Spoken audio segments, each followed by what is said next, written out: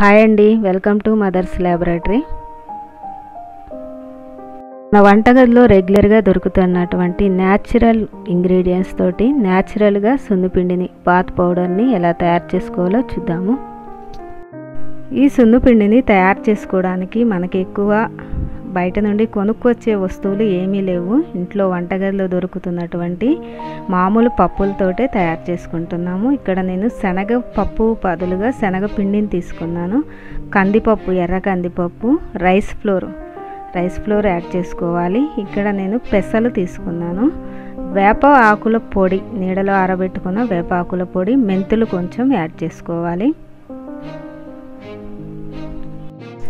ఎర్ర కందిపప్పు ఒక కప్పు తీసుకోవాలి. ఎర్ర కందిపప్పు వాడడం వల్ల మన శరీర తత్వం మారుతుంది స్మూత్గా వస్తుంది. అలాగే వైట్నింగ్ కూడా ఉపయోగపడుతుంది. ఇక్కడ శనగపిండి తీసుకున్నాను. శనగపప్పు ఉంటే దానిని బాగా ఎండబెట్టుకొని ఆ తర్వాత ఈ విధంగా పొడి చేసుకొని ఈ రెండింటిని ఈక్వల్ క్వాంటిటీలో తీసుకోవాలి. శనగపప్పు మనకి ఎక్కువగా జిడ్డు చర్మాన్ని కూడా స్మూత్ చేస్తుంది. మిగిలిన ఇంగ్రీడియంట్స్ వేపాకుల పొడి అరకప్పు తీసుకోవాలి. ఇక్కడ రైస్ ఫ్లోర్ రైస్ ఫ్లోర్ లేకపోతే బియ్యపిండి లేకపోతే బియ్యపిండికి బదులుగా బియ్యాన్ని తీసుకొని కూడా పిండిలాగా తయారు చేసుకోవచ్చు. అది కూడా అరకప్పు తీసుకోవాలి. మెంతులు అరకప్పు తీసుకోవాలి. మెంతులు మన చర్మాన్ని స్క్రబ్ చేస్తాయి. అలాగే సోప్ లాగా పనిచేస్తుంది. ఇక్కడ పెసలు తీసుకున్నాను. పెసలు కూడా అరకప్పు తీసుకోవాలి. పెసలు మన శరీరానికి స్క్రబ్బింగ్ లాగా స్మూత్గా చేయడానికి పనికొస్తాయి. తీసుకున్న వాటిల్లో మిక్సీ పట్టుకోవాల్సిన వాటిని మిక్సీ పట్టుకోవాలి. ముందుగా పెసలు తీసుకోవాలి. ఆ తర్వాత ఎర్ర కందిపప్పు. ఇందులో మనం అరకప్పు మెంతులు అనుకున్నాం కాబట్టి అరకప్పు మెంతుల్ని యాడ్ చేసుకొని పౌడర్ చేసుకోవాలి. సారి మిక్సీ పట్టుకుంటే ఒకేసారి అది ఫైన్ పౌడర్గా అవ్వదు కాబట్టి ఈ విధంగా జల్లెడ పట్టుకొని ఫైన్ పౌడర్గా వచ్చేంత వరకు రెండు మూడు సార్లు అయినా సరే మిక్సీ పట్టుకొని మరలా మరలా జల్లెడ పట్టుకుంటూ ఆ నూక అనేది బయటకు వచ్చేంత వరకు మన పౌడర్ అంతా కంప్లీట్గా మంచి సున్నిపిండి తయారయ్యేంత వరకు మనం ఈ విధంగా మిక్సీ పట్టుకుంటూ జల్లెడ పట్టుకోవాలి. కాటన్ క్లాత్ ఉపయోగించి కూడా జల్లెడ పట్టుకోవచ్చు. ఇలా వీలు కాని వాళ్ళు అలా క్లా కాటన్ క్లాత్లో యాడ్ చేసుకొని జల్లెడ పట్టామంటే చాలా మెత్తగా పౌడర్ వస్తుంది స్మూత్గా కూడా వస్తుంది. టూ త్రీ టైమ్స్ మిక్సీ పట్టిన తర్వాత జల్లెడ పట్టి మనం కలెక్ట్ చేసుకున్నటువంటి ఈ పిండిలోకి మిగతా ఇంగ్రీడియంట్స్ని కూడా యాడ్ చేసుకుందాం. పౌడరు మెత్తగా లేదు అనిపిస్తే మరొకసారి జల్లెడ పట్టుకొని ఇలా గిన్నెలోకి యాడ్ చేసుకోండి. ఇందులో మిగతా ఇంగ్రీడియంట్స్ యాడ్ చేసుకుందాం. ఒక కప్పు దాకా శనగపిండి యాడ్ చేయాలి. కప్పు బియ్యపిండి కప్పు వేపాకుల పొడి. నీమ్ పౌడర్ యాడ్ చేసుకోవాలి. ఇక్కడ బౌల్లో యాడ్ చేసిన ఇంగ్రీడియంట్స్ వరకే మనం సున్నిపిండి తయారు చేసుకొని అలా కూడా ఉపయోగించుకోవచ్చు. మీకు అవైలబుల్గా ఉంటే గులాబీ రేకులను ఎండబెట్టి నీడలో ఆ పౌడర్ను కూడా కలుపుకొని అంతవరకు మనం సున్నిపిండిని తయారు చేసుకోవచ్చు. ఇప్పుడు నేను యాడ్ చేస్తున్నటువంటి సరస్వతి ఆకుల పొడి ఇది ఆయుర్వేద షాప్లో దొరుకుతుంది. అవైలబుల్గా ఉంటే వేసుకోండి లేదంటే పూర్తిగా ఆప్షనల్. గంధం పొడి ఒక టూ స్పూన్స్ కూడా యాడ్ చేస్తున్నాను. ఇది పూర్తిగా ఆప్షనల్. ఇది అవైలబుల్గా ఉంటే యాడ్ చేసుకోవచ్చు లేదంటే స్కిప్ చేయొచ్చు. ఇది మన చర్మానికి చల్లదనాన్ని మంచి ఫ్లేవర్ను కూడా ఇస్తుంది. ఒక ఇంగ్రీడియంట్ ఎర్ర చందనం. ఎర్ర చందనం కూడా పూర్తిగా ఆప్షనల్ అండి. ఇది మన చర్మం మీద ఉన్నటువంటి బ్లాక్ స్పాట్స్ ఉంటాయి కదా వాటిని నల్ల మచ్చల్ని పూర్తిగా తగ్గించడానికి చాలా హెల్ప్ అవుతుంది. చివరగా పచ్చి కొమ్ములు పసుపును కూడా రెండు స్పూన్ల వరకు యాడ్ చేసుకొని కలుపుకుంటే మనకు పిండి రెడీ అవుతుంది.